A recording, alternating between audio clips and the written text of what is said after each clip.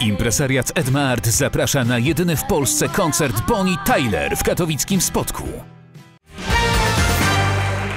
Uroczyście zainaugurowano budowę drugiej w Częstochowie huty szkła Guardian Glass. Zakład powstanie przy ulicy Korfantego w sąsiedztwie już istniejącego.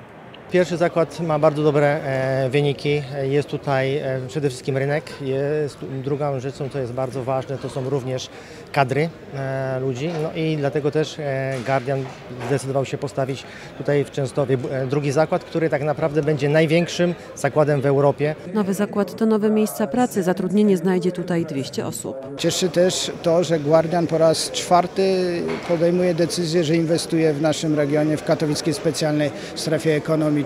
Niedawno świętowaliśmy i cieszyliśmy się e, otwarciem nowego centrum e, finansowego Guardian Business Solution w Katowicach, dzisiaj w Częstochowie. Nowa huta zapewni produkcję na poziomie 1000 ton szkła dziennie. Łącznie z obecnym zakładem będzie to ponad 1800 ton.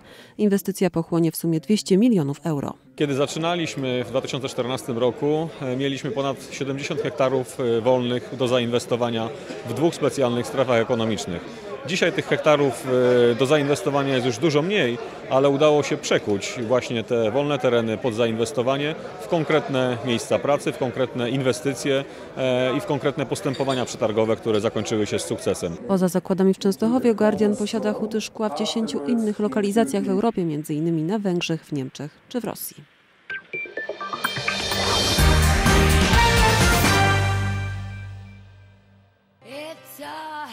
Impresariat Edmart zaprosił na jedyny w Polsce koncert Bonnie Tyler w katowickim Spodku.